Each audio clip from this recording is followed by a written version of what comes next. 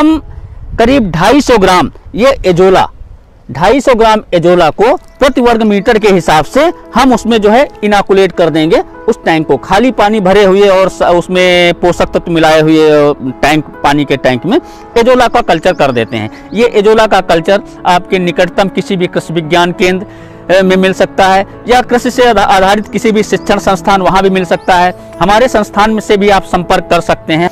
इसको भरने के बाद 10 से 15 दिन में पूरा एक पतली सी एक चटाई की तरह वो पानी में फैल जाता है। तो 10 से 15 दिन के बाद में हम ये कह सकते हैं कि 10 से 15 दिन के बाद में वो पशुओं के उपयोग के लिए तैयार हो जाता है।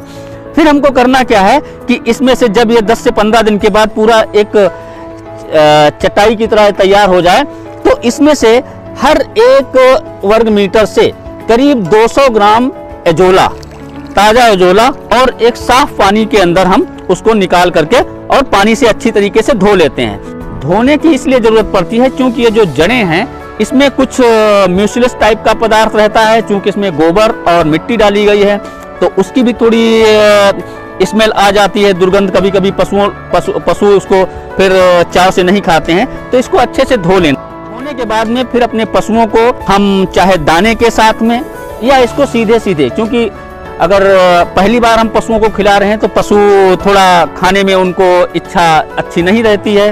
तो उनको अच्छी तरीके से खा लें ऐसी इसके लिए हम दाने के साथ इसको मिला देते हैं। और दाने के साथ मिलाने के बाद में उनके सामने अगर रखेंगे तो वो खाएँगे। इस टैंक को रख, रखाव के लिए कुछ ध्यान हमको ज़रूर ध्यान रखना चाहिए। पहली बात तो टैंक को जो है, हम छायादार जगह में रखें बनाएँ और वहाँ पे पशुओं का जो जो भी कचरा हो, होता है वो इकट्ठा नहीं होने दें आसपास उसके क्योंकि गंदगी होने से फिर कीटाणुओं के होने की संभावना रहती है तो वो नहीं रहने दें। पानी चेक करते रहें। इजोला की जो वृद्धि है वो जो हमारा वायुमंडल का जो तापमान है 20 से 30 डिग्री सेंटीग्रेड का जब होता है और जो वायु की नमी है वो करीब पचासी से 90 प्रतिशत जब होती है उस स्थिति में एजोला अच्छी बढ़वार करता है। और एजोला टैंक में जब हम एजोला कल्चर कर देते हैं, उसके बाद उसकी अच्छी बढ़वार कर, के लिए पाँच दिन के अंतराल पर उसमें पाँच ग्राम सिंगल सुपर फास्फेट और ढाई सौ ग्राम कच्चा गोबर, इनको हम प्रति वर्ग मीटर के हिसाब से नियमित रूप से डालते रहते हैं। तो इस, इसको करेंगे तो अच्छी हमको बढ़वार मिलेगी।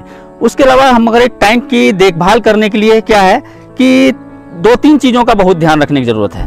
पहली बात, जब भी हम इसमें डालते हैं एजोला वगैरह और उसके करीब हर दस दिन के बाद में 25 से 30 प्रतिशत इसका पानी हमको बदल देना चाहिए। इस पानी को हमको कहीं फेंकना नहीं चाहिए। इस क्योंकि पौष्टिक पानी है, इसमें गोबर और दूसरी चीज़ें इसमें मिली हुई हैं। तो जो हम करीब एक तिहाई जो पानी इसमें से टैंक में से निकालेंगे, उसको अपनी खेती वगैरह में, अपने पौधों में डाल सकते हैं। दूसरा क्या है कि करीब एक महीने के अंतराल पे इसमें से एक किलो जो अंदर का कचरा है, जो मिट्टी वगैरह हमने मिलाई थी, एक किलो मिट्टी प्रति वर्ग मीटर के हिसाब से उस मटेरियल को निकाल करके और इसको भी हमको इधर उधर नहीं फेंकना है, अपने कहीं पौधे हैं, उस पर हमको डाल देना है।